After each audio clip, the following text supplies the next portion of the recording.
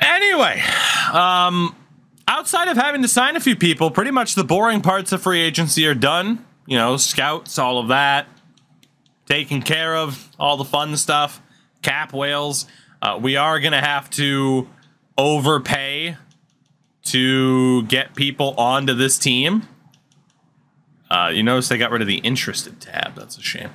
But yeah, we are going to have to overpay some people to actually get them to sign on this team. As much as I freaking hate that, it's pretty much the only way to do it because people are upset about our team chemistry, which is something I normally don't have to worry about.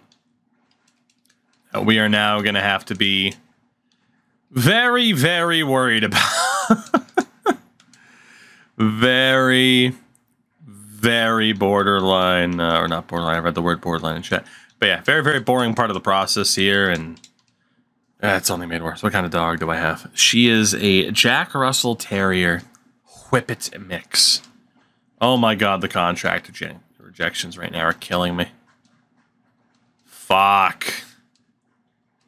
All right. Well, let's see if I can send the next season with this many players under contract. If not, we'll have to figure it out. But god damn it. God damn it. Yeah, plenty of pictures of my dog on Twitter and Instagram. I think there's plenty of pictures of her on Instagram. Hey, we do have enough contracts. How like that? I think there are plenty of pictures of her on Instagram. Actually, there hasn't been a picture of my dog on Instagram in a long time. I mean, it's just the wrong content. You scroll down far enough, you'll find her. And then me making funny faces in jerseys. That, that actually got to piss people off, which is. How old is Doggo? She turned 10 uh, about a week and a half ago. I don't like to think about it because it makes me feel fucking old that I've had this dog for 10 years. But it's been 10, yeah. 10 goddamn years. All right, so if we drop Belpedio or Cross, let's drop Cross. That would be an entire NHL defense made up of only players that we drafted. And then forward wise, uh, we could do the same. Have it be players that we drafted. If it's, you know, probably not the best uh, decision in the world, but it is one that we could do. Thorson, Lavin, and Sevenin are all ours as well. Is there anybody that we can drop down that was not drafted as a Greenville good dude? No. And then defensively, I think we just run it. I think we run it. So the three lowest rated guys, Sevenin, Lavin. Right, it had to be three, right? Because that's 10, 11, 12, 13 with Thorson. Um, so Thorson's a medium bottom six, Thibodeau AHL top six, Romeo AHL top six. I guess I'll drop Thorson. He's got a better chance to do well in the AHL. So let's see uh, what the hell this team looks like then. Michkov's up to a 72 after one season, so that was a plus seven. It has him scheduled to play with Ragnarsson. And then Denver Barkey it puts on the left. Interesting. Interesting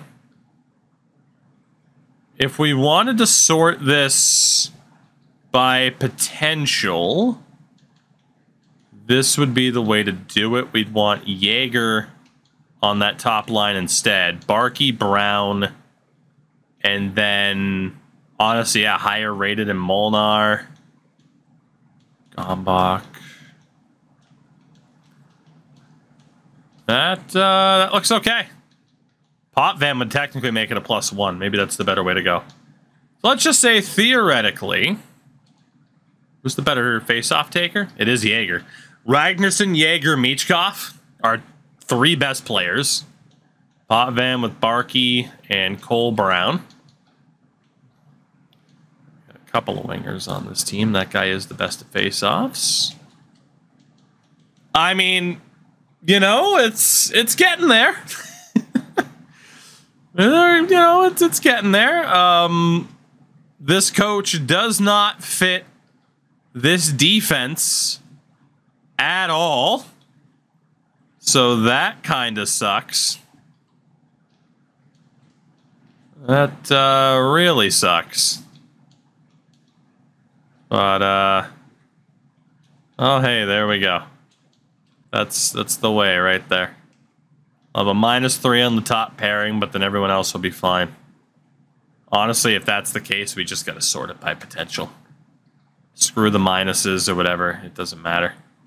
So Morin and Koistinen get the most time, and then Hamonic will be with Ellis. Belpedio will be with Yell. Kinkaid Grosenick in goal. And that madness is what we're running with. and this will be the season out of the three young guns where we find out which one of them will step up and be a leader. Will it be Ragnarsson, Yager, or Michkov? Who will be the leader of this team? Who can show the most improvements in a variety of ways on the ice? Well, our coach is actually a B minus. We should probably probably fire you. Yeah, I think uh, I think we're gonna do that. Uh, Corbett, how well do you fit the team? 58 scheme fit. How well does Tierney fit the team? 57. Fuck it, we'll go with Tierney. Why not? Uh, assistant. Let's get Huberto. Right? Yeah, let's get Huberto on the power play coach. And then AHL coach wise, that's pretty much good to go. Can we get an AHL goalie coach to help fill out this team? A plus teaching. Love to see that. Mr. Eliash, please sign with me. And then our scouts, I never play with morale on. I did for the first time. I'm not a big fan of the system either, to be honest. That's why I do normally play with it off. Um, but the idea was, you know, we're kind of basing this around the concept of the morale system's important. So, like, it is, in theory, a good system. It's just not fleshed out enough yet. That's its biggest issue. Like, there there is a way to put it all together to have this be like a, a must-have feature to have on. It's just, it's not there yet. I mean, there's just a lot. There's a lot to do about it too. Like I said, it's and it's just an entire conversation where I'm trying to decide if I really want to get into it. Um, but it's just the idea too of there's so many little things you can add to it. Like for example, the AI having to pretty much play someone within their proper listed position, and if they don't, have it be, hey, Jeff um, we want you in the lineup, but there's not a spot on the right wing, and you only play right wing. Are you willing to go to the left wing? And then the guy says yes or no. And then you still have the choice, even if they say no, to be like, well, Jeff, I hate to tell you, let's try it anyway. And then he can be like, ah, I'm grumble, grumble, grumble. But there's just, you know, this it needs to be way more expansive than it is. That's all. The potential is there 100%. But they do need to expand it and really flesh it out a bit more. And if they do, I think it can be a tremendous feature. But yeah, right now in its current state, it is just way, way too basic. There's just not enough meat on the bone to make it interesting enough to have it be worth the hassle of navigating the extra menus and going through the morale meetings. It's just not there. Do other games have such a system? Uh, NBA does have a morale system. Yes. That one, too, I also find gets boring pretty quickly, though. So, FIFA also has its own kind of sort of morale system. Uh, but it's also very, very basic. It's essentially through text messages that you're. This player's like, ah, you know, coach, I really want to play this week Like, oh, okay, cool. Or, nope, sorry, I have someone else in mind. So, beef is probably the best of them. You know, I agree with that for the same reason that you just said, Major. It's it's very basic, and it's not that big of a pain in the ass. But yeah, I don't know. I do think there is a lot of potential for the whole morale system idea It's just, are they willing to take the time to make it more expansive like it needs to be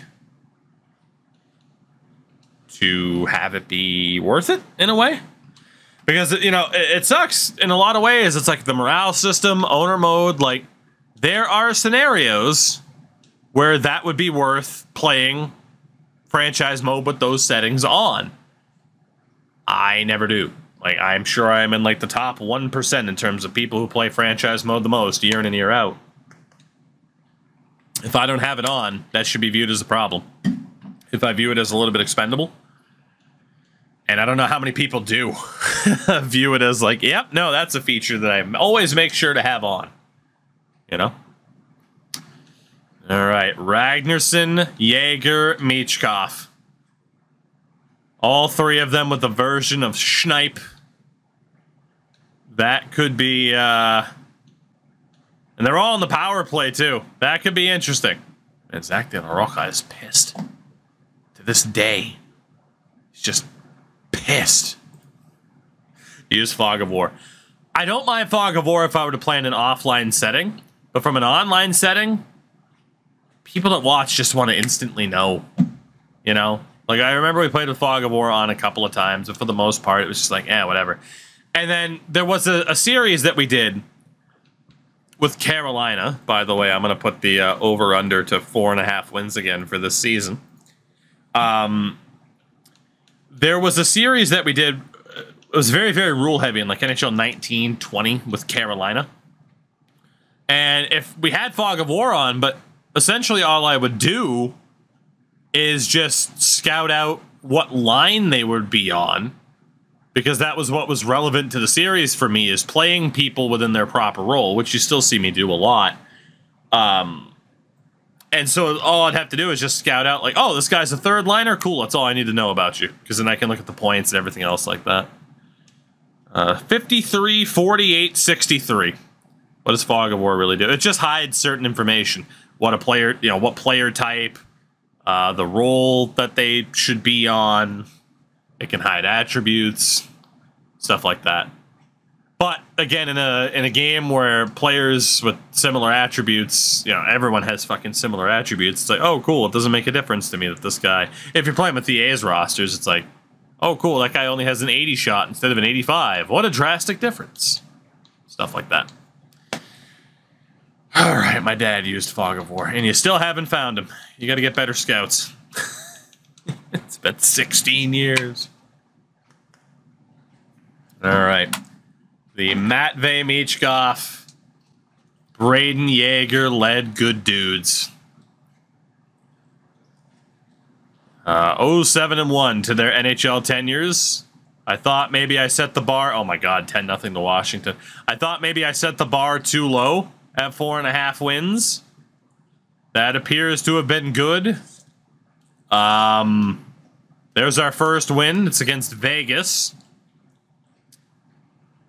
another win against Los Angeles. Okay, we're, you know, guys being dudes on Saturdays, you know? Getting a couple wins here and there. The Weekend Warriors beat Ottawa in a shootout. St. Louis, oh my god. Well, hey, we have four wins. Make it five. Again, we should have said it. We should have said it higher. We should have. We should have. I get the line right, the betting line for the first season. Uh, not so much for the follow-ups, though. Not so much for the follow-ups. and much like last year, we get to our fifth win and then just start losing hand over fist. So, uh that kind of blows. But again, right now, having top lottery odds every single season, that is very, very, very good news for us. So I'm not complaining. I am not complaining at all. All right, we'll list ourselves as sellers again. Again, nothing we can do deadline-wise. We'll see if anything crazy happened, though. What's the plan with this series? To see if this dumb idea can somehow help us win. To see if somehow this stupid idea could actually end up with us winning something. I highly doubt it. But uh, Ilya Mikheyev is now a Calgary Flame. So that's cool. Shout out to Ilya Mikheyev. Marcus Pettersson to Anaheim.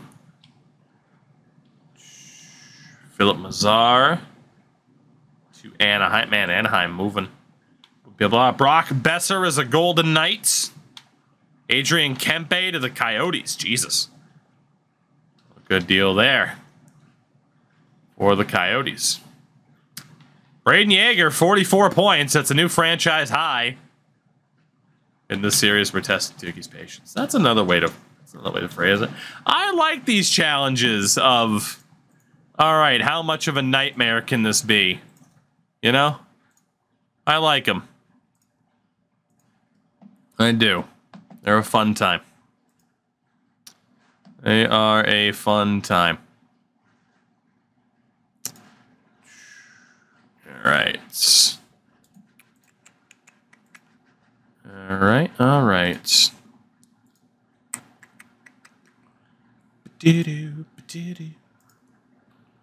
All right. What do we got? What do we got? 770 and 5. with Liam Ragnarsson setting the new franchise record for points in the season with 53. Way to go, Liam. Up to an oh my god, he went up by seven points this season. So Liam Ragnarsson, 27 goals, up from a 77. right? It was a 77, wasn't it? 77 to 83? So plus six. Some reason I was thinking it was 76. Uh, Brayden Yager, 51 points, 37 for Michkov, still at a 72. Ugh, that's not good. 35 points for Barkey, and then it really dropped off from there. Defensively, Etienne Morin, 30 points as a rookie. Not bad. And we were as bad as designed. And then goalie-wise, yeah, Grosenick and Kinkaid both under an 890 as expected. Honestly, it could have been worse. I genuinely thought we were going to lose more games than what we did. Um, let's see. Nick Ehlers. Crushing it. Crushing it. Achilles, perhaps. Brayden Point. Guys can look there. Only uh, only five players to break 100 points this season. That is down from the prior two. Top goal scorer Matthews, Pastrnak, Kucherov all hit 60 while Caufield, while Caufield, Goodrow, Ehlers, and Bedard all had at least 50. Again, with Bedard going to the Kings in this run. Uh, defensively, 92 points for Rasmus Sandin. Jesus. Again, defensemen are just broken sometimes. And then goalie-wise, Vasi and DeSmith, each with 42 wins. Casey DeSmith now in Seattle. Save percentage king among starters was Hellebuyck in Arizona with a 925. He signed a one-year deal. Shutout leader, three guys with eight, including Hellebuyck. It was Gustavsson and Ullmark. Rookies, 66 points for Sami Packarainen. You had Maverick Bork up there, Michael Benning, Cutter Gauthier, and our own Liam Ragnarsson, Sean Farrell, too. Pretty good rookie class. Yeah, 43 points for the second overall pick last year, Sami Packarainen, who was not available for us to draft. But hey, uh, honestly, optimism, hope, optimism. I mean, our locker room chemistry is at 18 goddamn percent.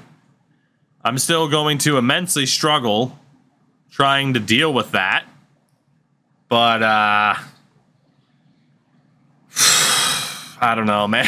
I'm trying to put a positive spin on it. This idea this idea is nuts, okay? It is. This idea it's it's a little bit silly, okay? A little bit silly. But maybe just maybe we can make it work. They've turned on each other. Well, that's the problem too, is the entire team is made up of locker room cancers, so you would expect that the chemistry would be worse. As the Winnipeg Jets win the Stanley Cup in 2025. Beating wow, so that's the second time in three years Montreal has lost in the finals to a fellow Canadian team. Brutal. FX, take douchebags, make them into good dudes, win. That is the goal. And hopefully it works.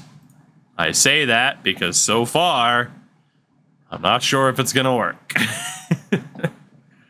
I'm not sure if it's going to work, you know? So, you will, uh, we'll see what's up. We'll see what's up. Whew. All right. AHL wise, by the way, Belleville beating Henderson in six games. Uh, FX not using real players. Wow, Ragnarsson went up another three points, up to an 86. Holy shit. He must have won the Calder. He, well, no, he, no, there's no way he won the Calder. Why did he go up another three points now at the season? That's insane, but I'll take it. Uh, Winnipeg, by the way. Yeah, Ehlers, Perfetti, Connor, Morrissey. They signed Joe Pavelski. Yeah. And uh, all it took was replacing Hellebuyck with Sam Montembeault. That's all it took. Award winners so far again, it's been Edmonton, Washington, Winnipeg, and Sam. Thank you for another gifted sub.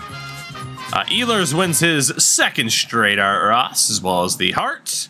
Sandin wins the Norris. Calder went to Maverick Bork. Wow, that Finn was robbed. Ehlers wins the Conn Smythe. Hellebuyck the Vezina. Another Masterton winner for us. San Jose's coach won the Jack Adams. Robert Thomas wins the Selke. Ehlers the Ted Lindsay and Matthews another Richard. AHL wise, Blake Wheeler, top point getter. Francesco Pinelli, the league MVP. Cole Eiserman, top goal scorer, as well as top rookie. Top defenseman, uh, it's Kim, right? Kim Noisianen? I think it's Kim. It might be Kai. Pretty sure it's Kim. Uh, Kaapo Kahkonen, top goaltender. And Angus Crookshank, MVP of the postseason for Belleville. So that sets us up for another draft. Will we have the top odds? No. Well, we do have the top odds, but we don't have the top pick. We fall to number three. We fall to number three. That could be rough. Could be. Jeff Carter, Derek Brassard, Derek Stepan, amongst others, called a career, including multiple-time Cup champion Patrick Maroon, wild legend. Edler, Schultz, Stralman, Radko Gudas is gone. And in goal, Grice, Dobin, Kinkaid, Aaron Dell, Grosenick, our goalie trio that take up a shitload of money, all just retired. Ryan Reaves and Jordie Benn both became scouts. The pre-draft interviews, so this was the Michael Misa draft. Did not have character issues, which is good news for us because we can't take them. Terrell Bradford. No character issue. So we need one of these guys. Yanni Nieminen.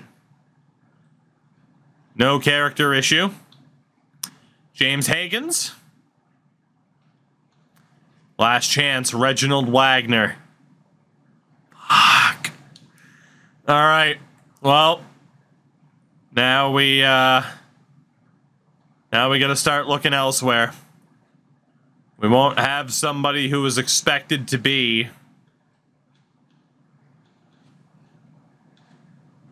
I don't even know if I want to bother looking at those other guys.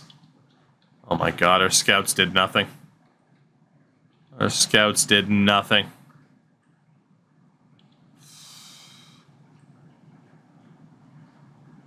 Oh my god. Potential to be a true leader. Is there anybody who's just a dickhead? Like, what the hell? It's the NHL. There's got to be one dickhead in the first round that always falls. That's how it works. Oh my god. Well, this is, um... This is a disaster, is what this is.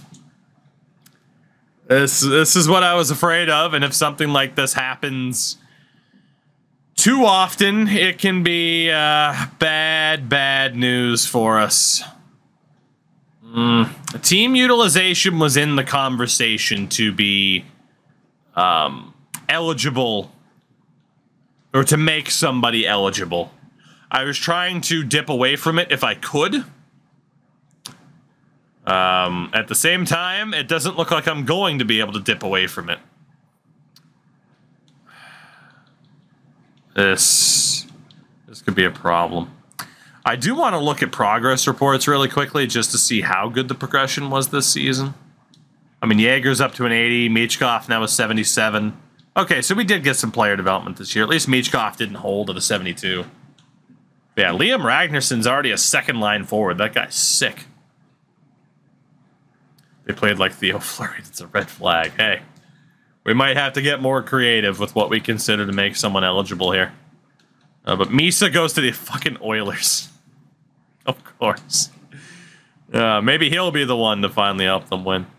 Um, so again, I mean, we've kind of already looked through all of these dudes. Um, it's not looking too good. Not looking too good at all. Jordan Gavin, I mean, if there's not anybody in the conversation, then yeah, we might have to use teammate utilization as the uh, as the tiebreaker at this stage. I was hoping to find someone who's around first round eligible to be worth it.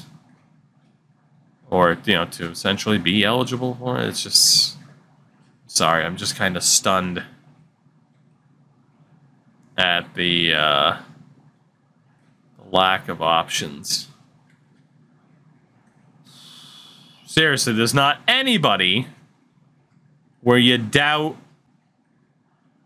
that, oh, okay, maybe they won't maybe they won't be able to handle the pro the pro game. There's not anybody in that conversation. Cool. Uh, there is this guy, Marcus Stromberg, but he's a second round option. Uh, so really, yeah, there is only one guy, and that's Jordan Gavin. Uh, if we don't take him, we're having to take someone in the second round. Um, I'm I'm gonna take him because Jesus Christ, we need to. we need to. Shout out to Jake from State Farm for the fall. If we don't take a guy like this, where it's kind of fringe-ish borderline, um, then yeah, we're gonna have to, uh, you know, we're gonna have to make some choices essentially uh, in a challenge like this. So we'll do what we got to do. So Jordan Gavin, we will take third overall. He is a 75, but he's only a medium six, so it's not as if it's like, oh my god, this home run you shouldn't have had. Like, he's solid, but he's not a uh, a guarantee by any stretch. We do have Dwight Salcedo. Hopefully here in round two, it gets to be a little bit easier to decipher who the picks should be between. Yeah, you can see teammate utilization does pop up a little bit more often. And the whole passionate but gets emotional at times. I don't view that as inherently a negative. I wish Gabriel... Oh, he is available. Some concerns if he could handle a professional environment. Gabriel Dag. That might be... That might be our goalie. That might just be our goalie. Especially when there is a lack. Ooh, a Philip Coe. Okay. Especially when there's a lack of some other options here. Gets emotional at times, passionate to win. Can we sign Jake Virtanen? I, I need Jake for Virtanen's regen. This is what I need. Jamison Rudder. Rooter, Rudder, Rotor Rooter. Okay think we're good. Good. Felipe on vacation in Portugal. 7 a.m. Jesus, thank you for the 55 months tuning in from Portugal. Uh, it's, uh, as Crash Andrews has named it, daft to glory. And you turn dickheads into winners. So goalie wise, Gabriel Dag would be a very good choice for us. Defensively, holy shit, there are actually a lot of options. Uh, there is Spezza. I'm projected four years out. Phil Coe is confirmed three years out. Only has teammate utilization. Honestly, out of these three, I think Dag fits fits better. So far, I'm thinking Dag fits the best. This guy does have the outright character issues listed. None of these guys had character issues. And then forward-wise, Jussi Hirvonen. Concerns about the professional environment. Reuter does have the character issue. Stromberg. Reefer. Okay. So for forwards, Tobias Reefers, the German, would be the safest bet at a medium nine, three years out. There's Stromberg, who apparently could have a good shot. We don't know for sure, but is also three years out. I'd be willing to take the risk on Stromberg more than Reefers. There's Jamison Reuter. Don't have him too scouted, but obviously the you know the letters that are popping up there aren't the worst. Unconfirmed or confirmed actually three years out. And then Hirvonen as well could be promising, but he's a total shot in the dark. So I think I think we're down to four. Think we are. I do still think Gabriel Dag might need to be our guy, but man, if Marcus Stromberg or someone like that is a steal. All these guys unconfirmed three years out, or confirmed three years out, excuse me. One of them was unconfirmed at a three out of four. it's tough not to take Dag.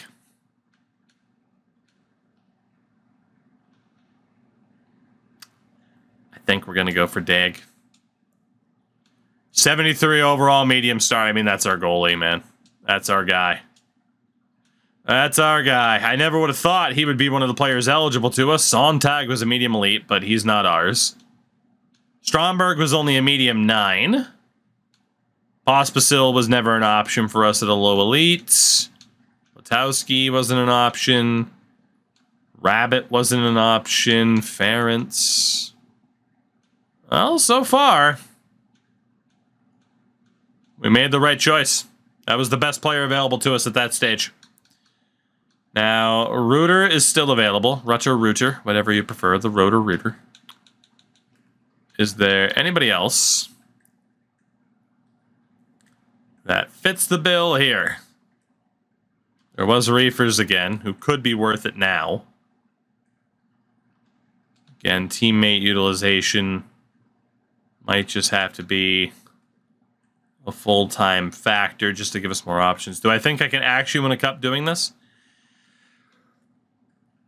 You know, we have uh, we have succeeded in some challenges before that we never thought we'd have a shot at.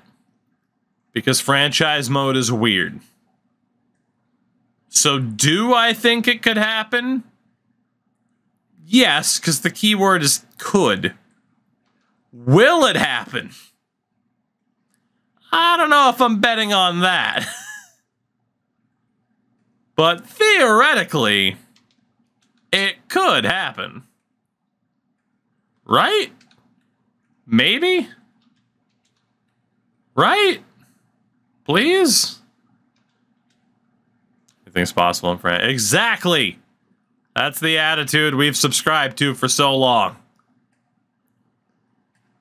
That is the attitude that we have subscribed to for so long.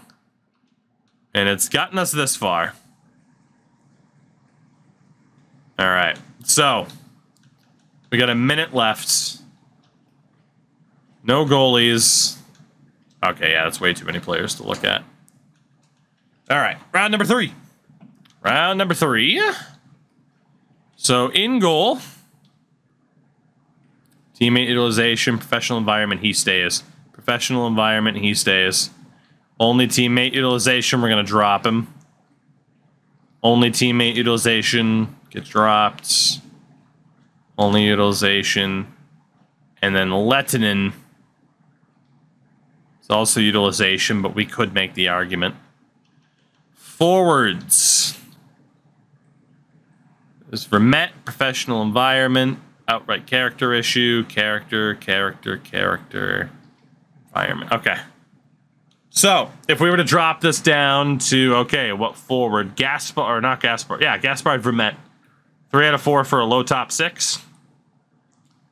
Three years out at 18, that's not too bad.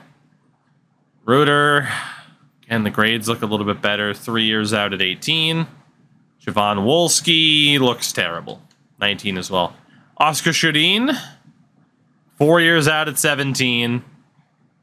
Grades don't look as good based off of what we know. Uh, Skylar Ballard, again, doesn't look as good. And then Reefers, three years out. Reefers is the safe bet. Rafers is the safe bet. Is the safe bet. Smart.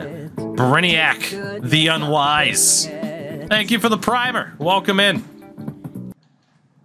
Now watch watch this drive, aka watch this blown pick. Four years out for Oberg. Lettinen's confirmed three years out. So is Chan. He's going to be like a low four. Love the content. Thank you for that. Appreciate it. I'm glad dumb ideas like this entertain for some reason. All right. Three years out. It's got to be one of the four. And in my mind, I'm leaning towards the defender because we probably need another defender in the mix. And it's a Finn. Topi Lettinen. Low four out of 61 overall. Not amazing. Not amazing. Will there be any of those dudes left? No, there will not. Did we make a dumb choice? Uh, was a 62, medium 9. I'm not seeing any medium top 6 forwards or any medium leads. Rudder was a 65, low 6. Yeah, I mean... Chant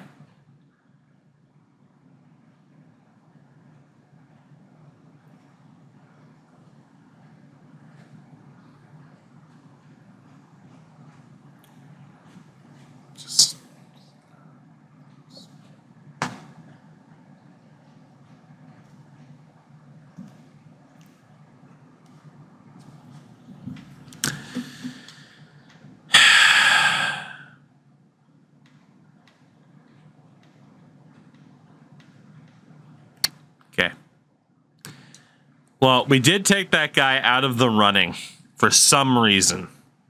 I don't quite remember the justification for him not making the next round of consideration. Um, I'll just say that I have regrets. My God, this could be an enforcer. It's an enforcer with character issues. Yes. That has to be the guy, right? An enforcer with character issues. Okay, there are some of these guys, like two out of four medium elites. It could be worth it. Righteous Heathen, the one year. Appreciate a guy like Kyle Clifford on the first line. Heathen, thank you very much for the year. I do appreciate it. Uh, let's go ahead and use our timeout here because we are going to need to use another one. We are going to need to use another one. All right. So again, let's look back. Uh, doesn't fit. Teammate utilization. Fortunately, Markstrom's not a fit, nor is Peverly. Fantastic leader. That doesn't fit here. All right. Well, there were a couple of guys at the top, but since then, it's been pretty rough, if we're being honest, in terms of these guys that are available. Teammate utilization for Svitov, for Dillman, character for Nikita Bure.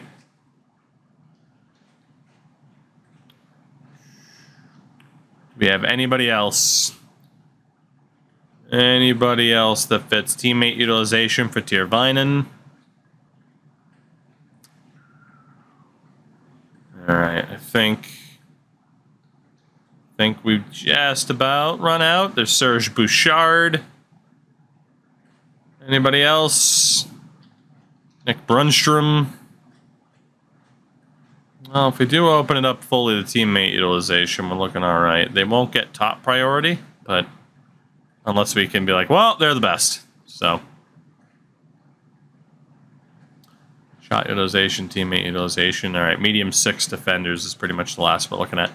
Okay, so goalies. We have two Oleg Kahesnikov and Brian Timmins. Kahesnikov's obviously looking like the better one. They're both five years out, though, at 18 years old. Defensively, holy shit. There's the Shirokov guy, three out of four medium elite. Unconfirmed quick pick, but that's tough to look past. Is Elniuk at a five year out with that potential? Five year out, five year outs. Four years out for uh, Mironov, who's not looking that good. Honestly, it might just have to be Shirokov, hoping for the best. And then there's only three forwards left. The problem is, who do we take in this next batch? And it feels like, okay, so it won't be Vyacheslav Mironov because Shirokov's there. It comes down to Shirokov or Para, the enforcer. And that sucks because those are two players I would have loved to have had for this team.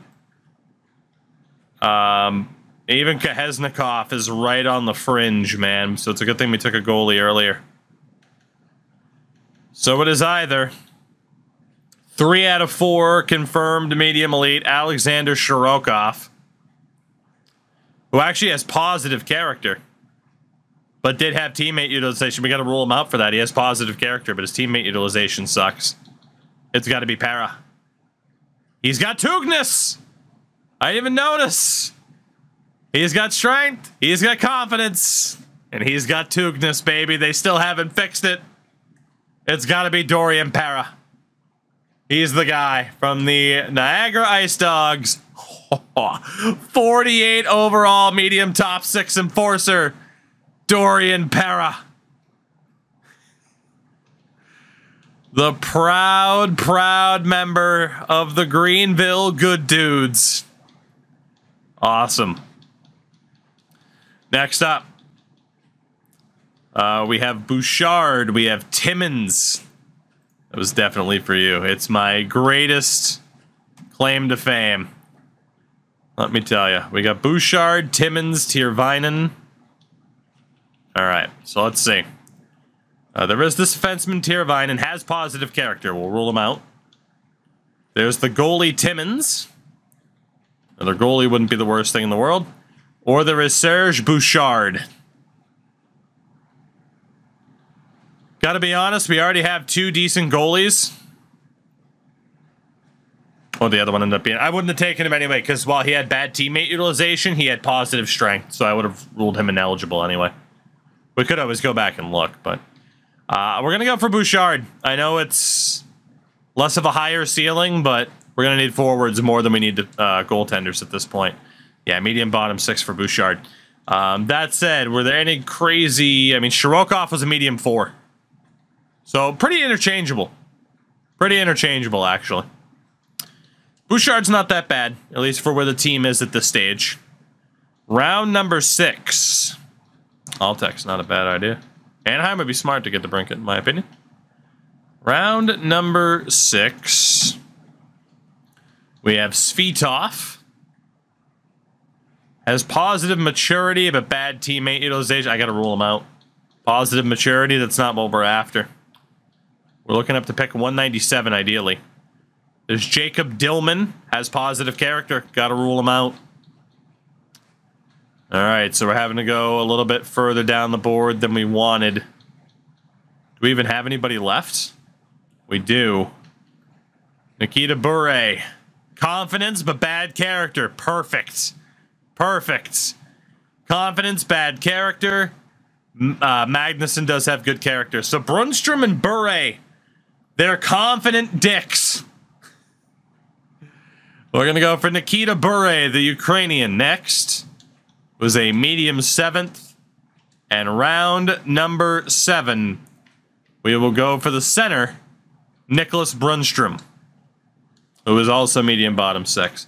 Honestly, though, for us, all usable players, right? Like, at least they should be. There weren't any AHL potential guys. I feel like that actually worked out relatively well for us. A confidic, if you will. So goalie-wise, Gabriel Daig can be signed and will pretty much immediately go to the NHL. Uh, Louis Belpedio can finally be dropped and will sign Lettinen and Bure to their ELCs. Uh, we'll sign Bouchard to his ELC as well. Again, Michkov up to a 77. So he's gone up 12 points in two years. We'll sign Para. And then down the middle, Jordan Gavin. Our third overall pick will drop Bishop. And we'll sign Brunstrom as well. And the team is starting to take shape in terms of, well, these guys were drafted by the team. But no doubt right now, our star player is last year's first overall pick, Liam Ragnarsson. Uh, what's your take on when to play certain guys, AHL or NHL? Like, what are the cutoffs? Um, so for me, typically, like, if it's not a weird series like this, it will be pretty much when it says they're an NHL caliber player. Um, you know, in a challenge like this, though, it's different because sometimes, legitimately, like the the chance of putting Michkov in the NHL, sometimes he will skyrocket and over an overall. Other times, it is best to just leave him unsigned for the three years, then play him in the AHL. Um, like honestly, in my experience, it feels like a coin toss half the time. Because we've also seen players like Para that if he was a low elite, I've seen players like that jump 20 overall points in one season and that's both unsigned and in the AHL, NHL. Like it's just it does seem to be a, a coin toss. So sometimes it, it, does benefit you to take the risk. Um, yeah, I would say for the most part is try to keep the the proper pipeline. So like for me, typically it would be someone 65 and up. You'd start to say, okay, AHL talent, and then 75 and up is NHL talent. So someone like Para, if I was doing like a, a, Boston Bruins franchise straight up, I'd probably leave him unsigned for the three years. But despite the similar colors, it's not what we got going on. so Dorian Para signs, and I guess we're gonna do one more season tonight. I feel like we have to because I'm I'm having fun with this. I'm having fun with it, even though our locker room chemistry is at 18%.